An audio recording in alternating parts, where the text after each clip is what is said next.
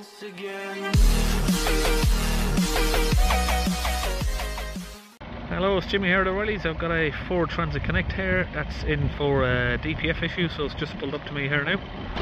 Okay, so a bit of the story with this was it came from was it a Ford garage or No, no, it's an independent. independent garage, and it had a air leak. The same common pipe here. They've replaced the pipe, and they've told them to just take the van on a good run and it'll sort itself out. Of course, that didn't happen, so he's come down to me to now get the DPF sorted out. Just having a quick look here. I can notice there's an oil leak from the seal on there, so that's going to need doing as well. Okay, so I'm inside the van. Uh, see if I can show you there. Exhaust filter over limit is what it says now. He's obviously that's what I said. He's been told take it for 100 miles run and that will sort itself out. Uh, the van's done 28,000 miles, so let's plug it in and see what the faults are. Okay, we're going to do a scan of the PCM. Let's go in here. Okay, we're in. Let's read the fault codes, retrieve.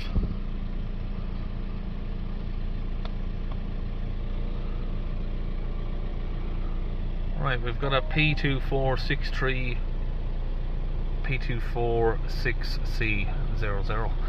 Particle filter, soot accumulation, restricted performance. So this one means that the van's in limp mode, and this one means that you've got a soot accumulation that is too high to uh, for the van to self-clean. Once you've got that code set up, so what the last guy's done is he's cleared the code, told him I'm going to drive. That's not going to work because within a half a mile down the road, that code's going to come back on. Once that code is set, it, the van knows that the DPF level is now too high and it's not safe for it to do a regen because if it does a regen with that code, then what's going to happen is you're likely going to overheat the DPF and damage it. So the van won't do it. It just won't. It won't set off the regen. So all of that talk that everyone says, hold it at 3,000 RPM and drive it down the road, and it will clear out. Now you will hear some people say, yeah, that worked for me. Maybe on some older cars, yeah, and if on a very very rare circumstances, if you clear the code, yeah, you, you, it, you know it, it is possible, but 99% of cars that will not work on it. So what I'm going to do is I'm going to clean the DPF, uh, and then we can reset the, the. Even if I clean the DPF on this, this is one thing more I'll mention. Yeah. Well, let's read the DPF pressure in live data stream.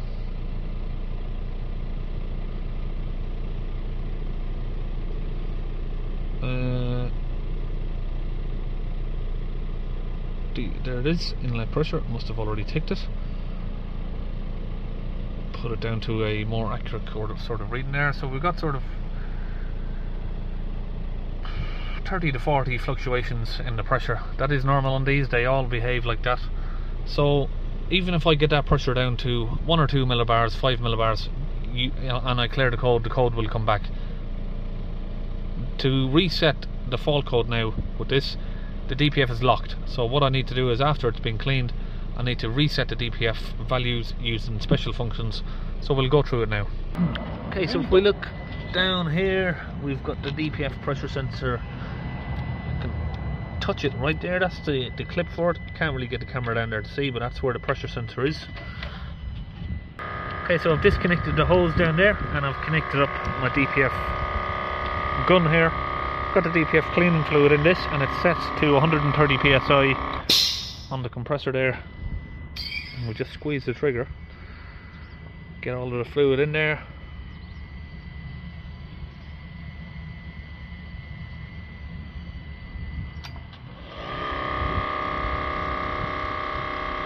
Okay, so we've got the fluid in now. What I'm going to do is start the vehicle back up now. Okay, now the fluid's in, we've got the engine running. I'm going to hold the vehicle up to 3000 RPM.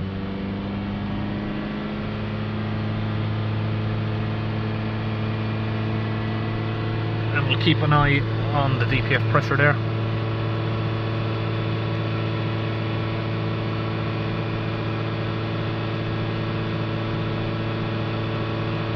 So I've got that on the chart so we can see see that it's coming down. I think we're yeah we're slightly running away a little bit with the revs. Let's just try and keep that around 3000.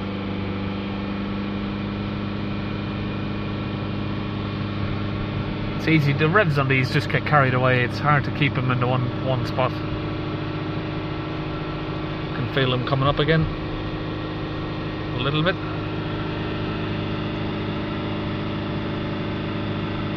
So we've got the pressure under 100 now.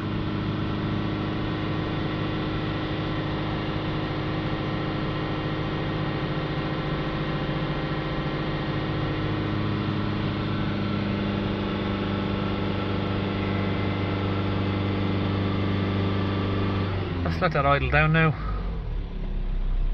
See where we are. Sort of 8 to what was that 8 to 16 17 millibars so now we have the DPF at a good enough pressure to reset it first we'll just give it a few few spikes revs you should see some smoke coming from the rear of the van there. I'm going to switch the engine off and ignition on. So just make sure your dash lights are on like that.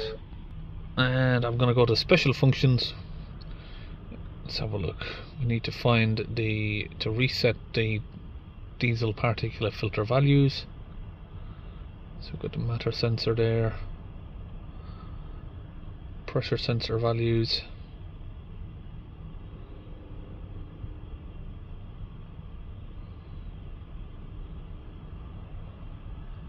right here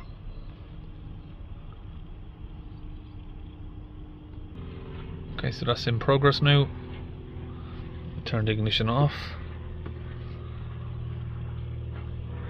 Wait for that to power down, and the interior light should go off once that's powered down. Okay, so that's complete.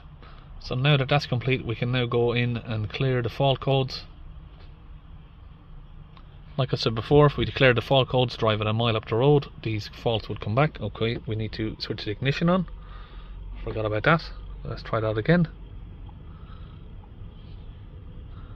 Okay, now read the fault codes, and we should have zero codes in the system.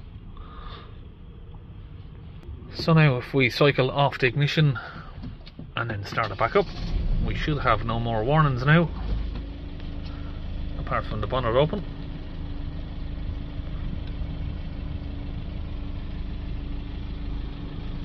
Okay, so that's it. DPF's cleaned, codes are reset, and this van can now make its way home. And I'll see you on our next video.